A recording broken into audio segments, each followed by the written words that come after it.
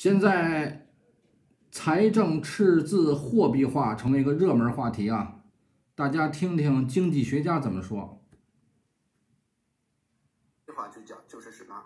就是当政府缺钱的时候，政府没钱了，政府没钱怎么办？那么一般情况下，政府会发国债啊，发债券向老百姓借钱啊，然后到期的话把钱还回去，还要支付利息。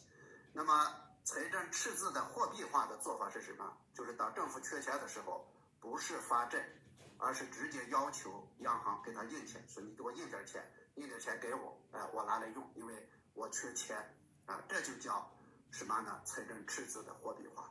老百姓都知道，如果说一个政府能够随便印钱的话，这是很可怕的，钱就不值钱了。这个在历史上啊，呃，事实上从这个人类产生纸币以来，纸币为什么大家害怕？就是如果说没有节制，可以随便印的话，那么纸这是纸币是不值钱的。啊，在人类历史上这样的例子太多了，就是由于滥发货币等等，导致一个国家破产，导致一个政权灭亡的情况，实在实在是太多了。啊，这个咱们也有啊。啊，当年国民党发那个金圆券，啊，呃，政权都丢了。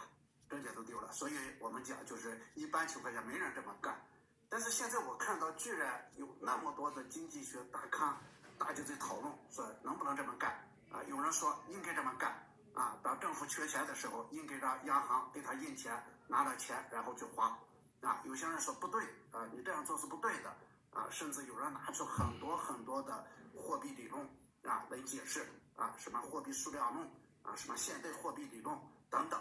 啊啊！有人还解释说，啊，欧美为什么现在这么干，我们为什么不能干？啊，我想告诉大家，欧美也不是大家理解的随便可以印钱，它是有严格纪律的。啊，比如说美国，美联储虽然讲说市场需要多少钱，我都可以给你提供，也就是说我可以给你印，啊，但事实上这个话本身可不是这么来理解的。它是为了确保市场不出现流动性，而不是说当政府缺钱的时候随便可以印钱。如果美元可以随便印的话，全世界谁还去抢美元？啊，呃，整个美元体系就崩溃了。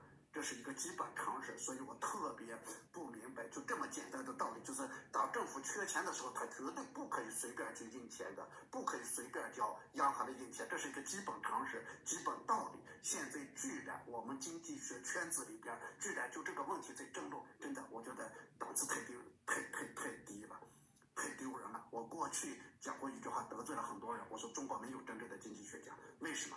因为在经济学理论里边，我们基本没有什么原创的东西，都是搬用别人的东西。欧美的一些经济学理论，我们如果能够把它完整的搬运过来，而且生搬硬套跟中国的实际相结合，我们认为就是经济学家就很牛了。但是我觉得，你作为一个知识搬运工，你的档次也应该高一点，也不应该这么低端啊！就这么一个简单的常识，如果说一个政府随便可以印钱的话，他的钱是不值钱的。如果说随便印钱可以创造繁荣，可以走出危机的话，那么津巴布韦应该是全世界最富裕的国家，对吗？老百姓都明白的道理，简单的道理啊！你居然在这个地方还争，还用什么理论，还弄了一个非常吓人的什么啊？财政赤字货币化。哎，我经常看到一些一些一些装神弄鬼的啊，说什么哎，只要。讲投资的时候，你听他什么建议都没有，但是你假设什么阿尔法、贝塔啊，再说几个凯恩斯啊、巴菲特，他就牛的不行，好像他挺懂，其实狗屁不懂。所以我们说，政府坚决不能在缺钱的时候随便印钱，让央行给他印钱花，这样信用体系就会崩溃。这是一个基本常识，别争了，争这个特别丢人。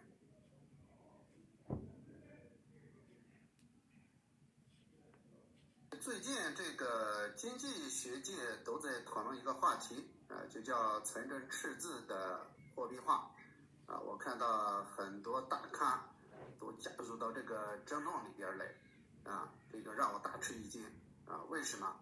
呃，财政赤字的货币化，你听起来很学术，啊，其实翻译过来特别简单，啊，用一个大白话去讲，就是什么？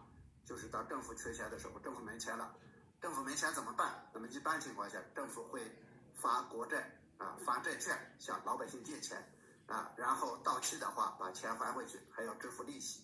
那么财政赤字的货币化的做法是什么？就是当政府缺钱的时候，不是发债，而是直接要求央行给他印钱，说你给我印点钱，印点钱给我，哎，我拿来用，因为我缺钱啊，这就叫什么呢？财政赤字的货币化。